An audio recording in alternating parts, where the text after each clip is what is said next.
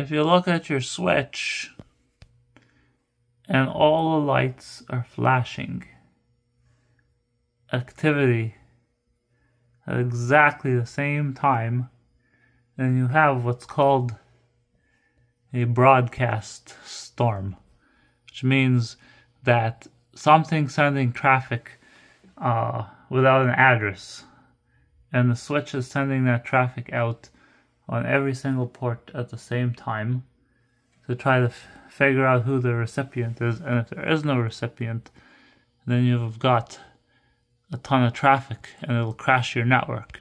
So if you're on a continuous ping, say to Google, for example, or something else, and you're getting really high latency and then you're getting dropped packets, that's because uh, your switch is overloaded.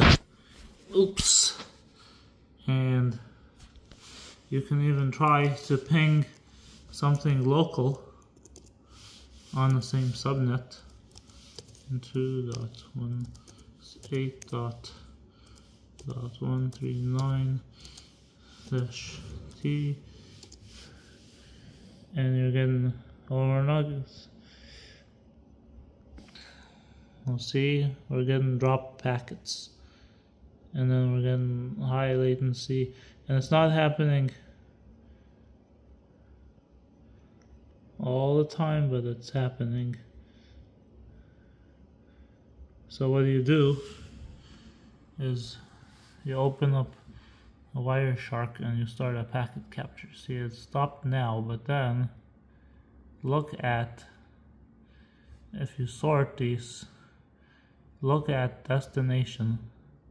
And if the destination says broadcast, then you get a broadcast request. So now you know you've got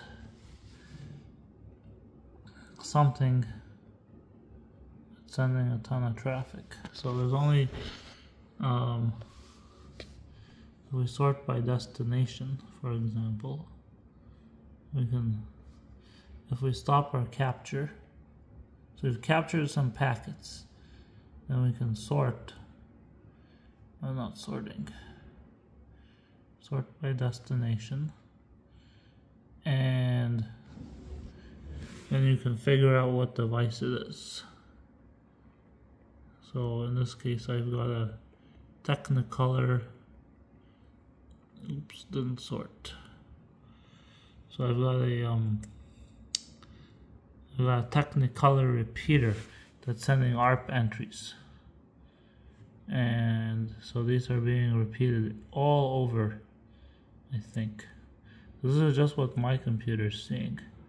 So I'm gonna try to unplug this thing and then see what happens next. Okay, so I thought that's what it was, so I disconnected some stuff, but now since I was not on Wi-Fi, then I connected my uh, laptop. So now DHCP is completely turned off because I don't got my fiber back to the main building.